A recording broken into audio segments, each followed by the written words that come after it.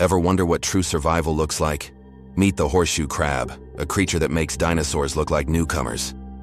This incredible animal has been scuttling around for over 450 million years. It's a living fossil that witnessed the rise and fall of empires, including five mass extinctions. Its unique blue blood is vital for modern medicine, used to test for dangerous toxins. Despite surviving epochs, its DNA has barely changed since the Triassic period. Why change perfection? The horseshoe crab proves that sometimes the oldest designs are the most resilient. It's a true testament to enduring life on Earth. Want to uncover more secrets from deep time? Hit that like button, subscribe for more amazing facts, and tell us what ancient creature fascinates you most.